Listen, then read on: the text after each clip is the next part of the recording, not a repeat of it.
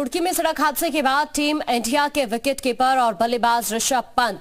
जी हाँ, आपको ये बता दें कि यहाँ जिस तरह से आज उनका एक्सीडेंट हुआ उसके बाद हालाँकि अभी उनकी हालत स्थिर बनी हुई है।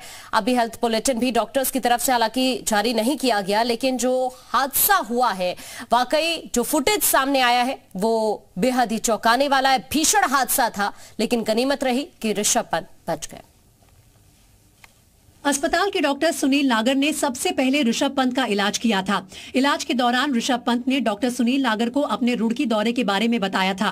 कह रहा था कि मैं अपनी मम्मी को सरप्राइज़ देना चाहता था और डॉक्टर साहब में रात सिर्फ़ मात्र दो घंटे सोया।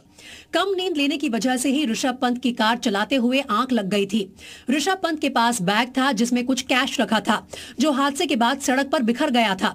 ऋषभ को अस्पताल लाने वाले युवकों ने डॉक्टर सुनील नागर को उन पैसों के बारे में बताया। लोग बाग तो पैसे इकट्ठे करने में लगे हुए थे कि ये अपने गाँव में स्टेशनरी बिज़नेस शुरू करके हर महीने दो लाख कमा रहे हैं। आपके गाँव में भी ये करना है? तो फ्रीडम ऐप को अभी डाउनलोड कीजिए। के पास कुछ कैश था और कुछ लोग जो खड़े थे वो वीडियो वीडियो बना रहे थे। हालाँकि एक चश्मदीद ने दावा किया कि ऋषभ को किसी शख्स ने कुछ पैसे सौंप दिए थे। तो वो होश में थे किसी सज्जन ने उनको कैश दिया है। ये तो मुझे नहीं पता कितना था वो। यानी ऋषभ तड़पते रहे थे और कुछ लोग अपनी जेब में नोट भरने लगे थे। अब आपको हादसे की पूरी रिपोर्ट दिखाते हैं।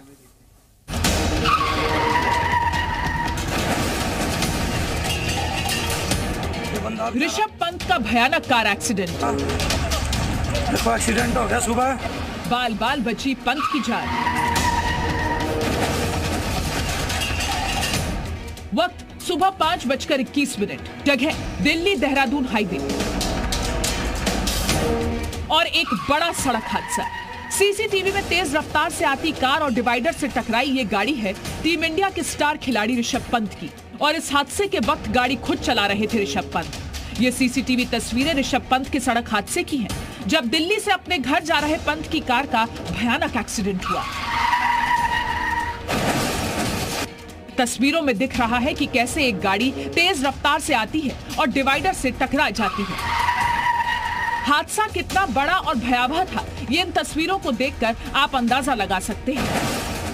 अब इस हादसे का दूसरा वीडियो देखिए। इस वीडियो में पंत की मर्सिडीज गाड़ी में पूरी तरह आग लगी देखी जा सकती है।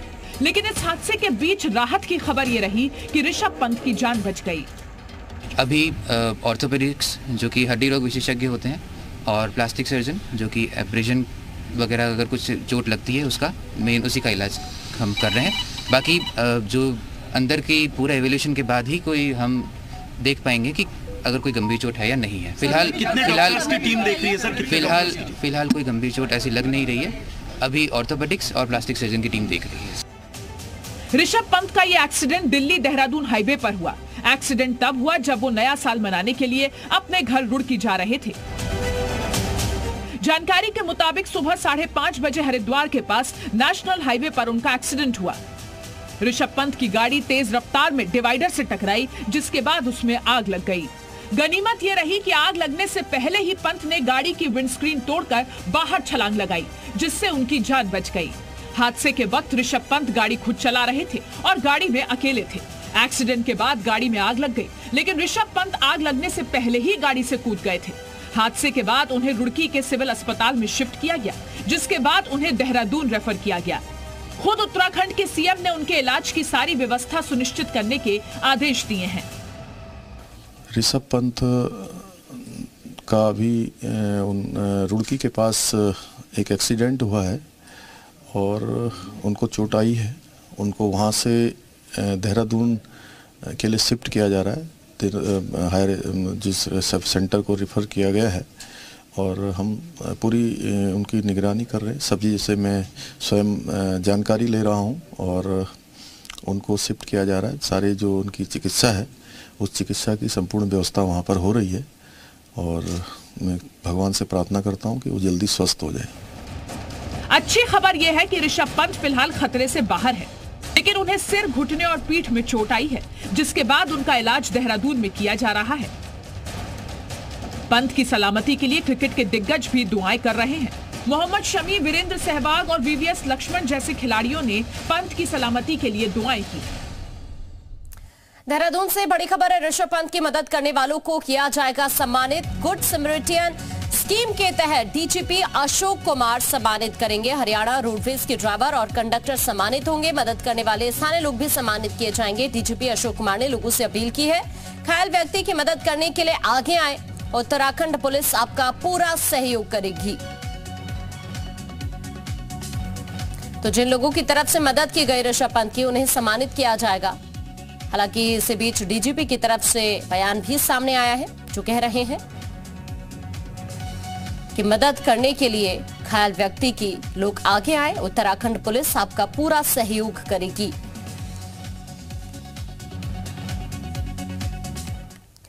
उत्तराखंड के सीएम पुष्कर सिंह धामी ने क्रिकेटर ऋषभ पंत के कार एक्सीडेंट पर दुख जताया और अधिकारियों को उनके परिवार को हर संभव मदद करने के निर्देश दिए।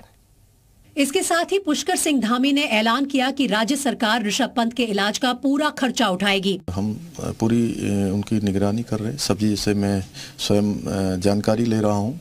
भारतीय क्रिकेट कंट्रोल बोर्ड के सचिव जय शाह ने कहा कि वो लगातार ऋषभ के परिवार के संपर्क में हैं। उन्होंने ट्वीट कर लिखा, रिकवरी की तरफ़ बढ़ते ऋषभ पंत के साथ मेरी दुआएँ हैं। मैंने उनके परिवार और उनका इलाज कर रहे डॉक्टरों से बात की है। ऋषभ की हालत स्थिर है। जय शाह ने कहा कि इस मुश्किल समय में बोर्ड पंत को हर संभव मेडिकल ट्रीटमेंट और मदद मुहैया कराएगा। का फ़िलहाल देहरादून के अस्पताल में इलाज चल रहा है। पंत के घायल होने पर प्रधानमंत्री नरेंद्र मोदी ने चिंता जताई है और उनके जल्द स्वस्थ होने की कामना की है।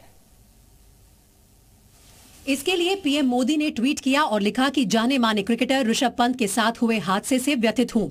मैं उनके अच्छे स्वास्थ्य और कल्याण के लिए प्रार्थना करता हूँ। क्रिकेटर विराट कोहली ने भी ऋषभ पंत के जल्द ठीक होने की कामना की है। कोहली ने ट्वीट कर लिखा, जल्द ठीक हो जाएँ पंत, आपके जल्द स्वस्थ होने की कामना करता हूँ। पूर्व ऑस्ट्रेलियाई क्रिकेटर रिकी पॉन्टिंग ने भी ट्वीट करके ऋषभ पंत के हादसे पर दुख जताया। उन्होंने लिखा, आशा करता हूँ कि पंत जल्द ठीक होकर अपने पैरों पर चलते दिखेंगे। ये अपने गाँव में स्टेशनरी बिज़नेस शुरू करके हर महीने दो लाख कमा रहे हैं। आपके गाँव में भी ये करना है? तो फ्रीडम ऐप को अभी डाउनलोड कीजिए।